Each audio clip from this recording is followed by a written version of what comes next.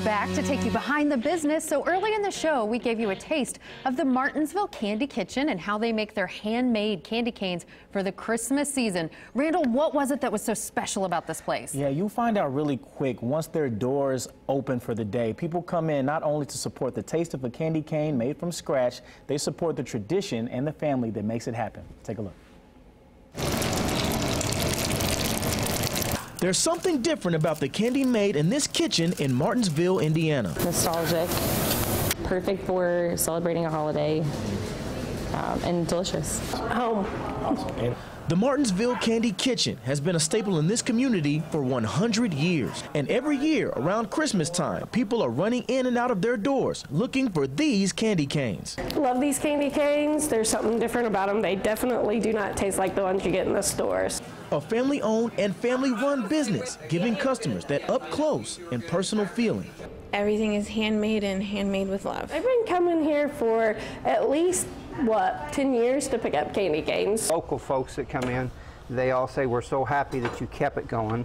Dedication only scratches the surface. When they leave here, they all have full time jobs. I had no idea what we were getting into. I guess it's a good feeling knowing you're supporting not just a town, but a family.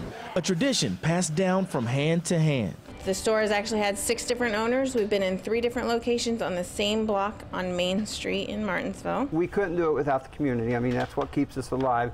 We get people from all over the state. And when they turned 100, people showed them even more love. We literally had people out the door lined up halfway down the block to come in here. They make deliveries anywhere, from Indiana to places like Kuwait and Guam. But they say nothing beats the feeling of that hometown support. There's a lot of families that come back year after year they have become um, our regulars, and we love having them here, and this is their family tradition. And when Christmas comes around, everything kicks into overdrive. Crazy. Uh, it's real crazy.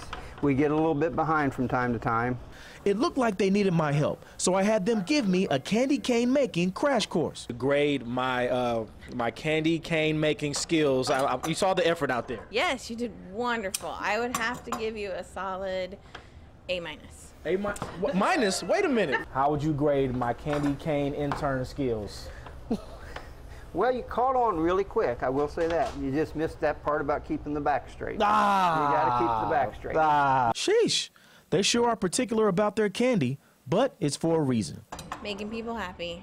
To keep the tradition alive and to, to, for the little kids. For the long timers, it's a tradition. For the newcomers, it could be a perfect time to start one. This would be, you know, something a fun tradition to do every year and come pick out candy for family or for them.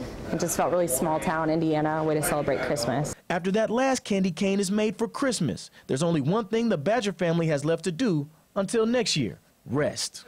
I am going to go home and sleep for a few days. Yeah, she's super tired Oh, yeah, I because see it. every day she would leave, you know, her job, and they don't start going till after everybody's off work, and then they just make these candy canes through the night. She's leaving there four or five o'clock in the morning, all through the Christmas That's season. incredible. 30 30,000 that they make 30,000. through the whole year. Most of that is after October, obviously. Wow. And we just got a special delivery. Hey, Look, yeah, um, yeah, yeah. Yep. That takes me back to childhood. This is amazing. Yeah, and it's thick. it is. Oh, I love them. Yeah, so these can awesome. last. These last you for a while. Okay. And it's you know, handmade and you know nothing better. Quite a story that, behind this little Yeah, that cane. family feel. Isn't that awesome? Yes. Yeah, that's good stuff.